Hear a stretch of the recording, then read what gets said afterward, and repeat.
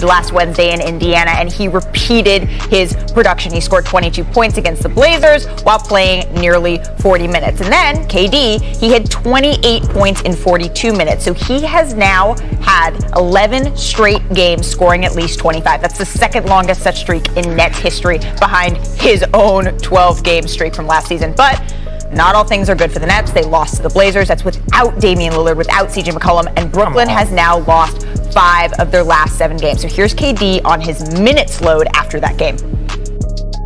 Are you concerned at all about the workload that you put in so far today? No. Let me die out there. no, I'm just playing. uh, no, I'm not concerned. But whenever the coach um, want to give me a day, then you know I'll support it. But I'm not looking for one. You get what I'm saying? So I'm gonna just play until they tell me that I'm sitting up. You know? But that's not on my mind when I'm playing. That's not on my mind when I'm going into a game, preparing for a game. It is what it is. I got to play 40. I got to play. So what? You know what I'm saying? I'm gonna play. But if they tell me to sit out, I'm gonna do the same thing. Okay, dang, I'm gonna die out there. Well, with that, I'd like to welcome in JJ Redick. So, JJ, do you think the Nets are Kevin Durant right now? Well, I, I, think they should definitely be concerned with his minutes. But as you guys just talked about, Kevin Durant is a superstar. He's yes, a max he player. There's inherently going to be pressure on him. That has been exasperated this season for a few reasons. First of all, COVID, injuries, but really the Nets have an unbalanced roster. They have three superstars or whatever the criteria is, guys. I'm not sure. But they have three star players. And then after that, there's this pretty significant drop off and, uh, you know, because of Kyrie being only being available for two games all season, he's had to shoulder more minutes. Um, but look, his usage rate is slightly above his career average. It's not like when he's on the court, he's doing more than he, he normally does.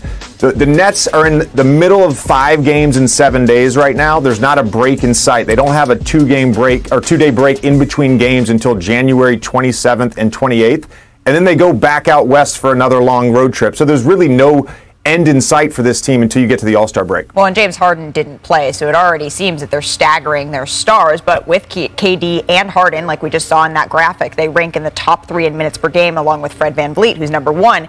Is this sustainable for the entire season? This is the benefit of, of bringing Kyrie back for road games. Um, if I'm the Nets, my strategy would be if look if if those three guys are healthy uh, for a road game, we're picking one of them to sit out the game and get some rest. Um, and certainly, as you get past the All Star break, you can be even more strategic and, and look for opportunities to play those guys together.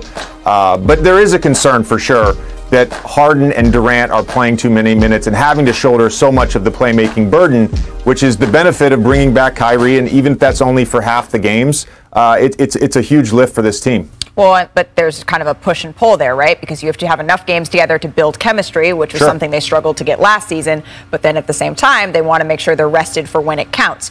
Kyrie, he did play last night. Kevin Durant did play. James Harden did not. Kyrie Irving, he was unhappy with the play Blade made Nassir Little when he drove for a ball, when he dove for a ball. It was near his ankle. So take a listen to that. I tried to get out of the way, but I, I just felt like that was just, it, it was unnecessary, you know, like for him to dive that far away from the ball. I was just trying to get out the way, but just unnecessary play. I asked the refs, just you know, you just got to protect our, our, our players out there. It's just totally unnecessary. I get Nassir wants to go for the ball, but man, that's just not a good play for basketball. I could have broke my ankle or done something worse. There's just no place in our game for it. There's no place in our game for it. All right, so I'd like to bring back Richard and Perk, and considering Richard is already oh. rubbing the dome, I have to ask, was that a dirty play in your eyes, Richard?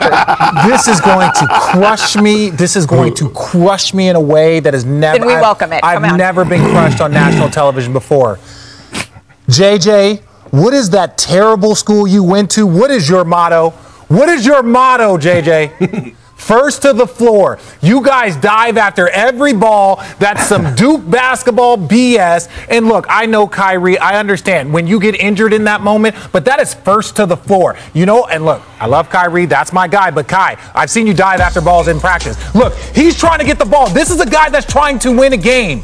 That's what this is. Right? Look, the Nets have not been playing great basketball of late, even though they've been winning because they have the talent. But unless you're willing to hustle like that, and yes, I am that sucks. That Kyrie's. Yes, injuries can happen in basketball. Kyrie went up for a layup in the postseason, landed on somebody's ankle. That wasn't intentional. This right here is just a guy trying to win a game. And truth be told, the Nets need more guys like that on their roster if they want to be mm. playing better basketball.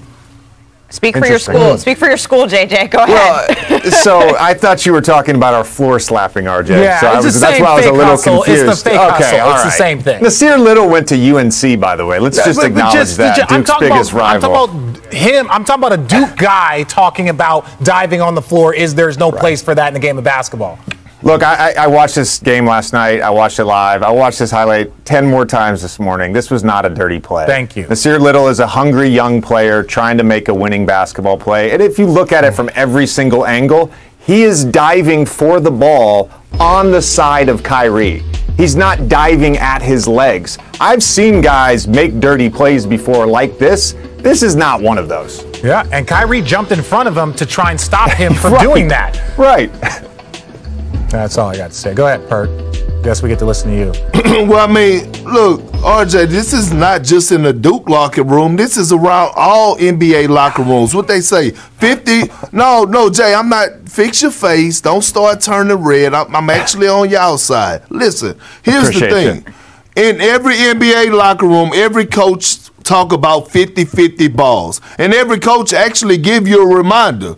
The first guy to hit the floor is the guy that probably won't get his ankle turned or get a leg injury. That's why you preach dive on the floor for the loose ball. And JJ, you made a great point. Here's the thing. This is a guy in little, a young fella who's trying to establish himself in the league, trying to make a, a, a get a reputation for himself as a guy that plays hard, trying to everybody's watching them play, and then you have Kyrie and you have the Nets who were playing cool. This is why they lost the game in the first place because the Trailblazers, the the Trailblazers just played harder than them. And so I actually talked to my guy Chauncey Billups today, and I asked him about that play, and he was like, "Man, hell nah, man, ain't nobody was trying to hurt Kyrie. Perk, you know that's what we preach: dive on the floor for loose balls. That's what it is. yeah, well, watching We it, it's have no hard to place in our game for soft play. Well, with that, no game place in the game for soft play. We start Kevin Durant right now. Well, I, I think they should definitely be concerned with his minutes. But as you guys just talked about, Kevin Durant is a superstar. He's Yes, a max is. player. There's inherently going to be pressure on him. That has been exasperated this season for a few reasons. First of all, COVID, injuries, but really the Nets have an unbalanced roster. They have three superstars or whatever you, the criteria is, guys. I'm not sure. But they have three star players. And then after that, there's this pretty significant drop off.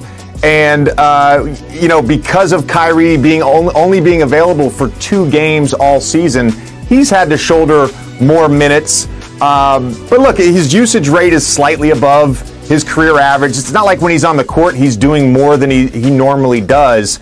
The, the Nets are in the middle of five games in seven days right now. There's not a break in sight. They don't have a two game break or two day break in between games until January 27th and 28th.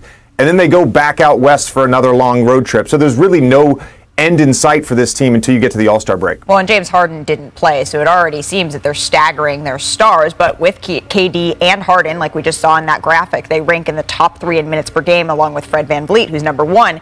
Is this sustainable for the entire season?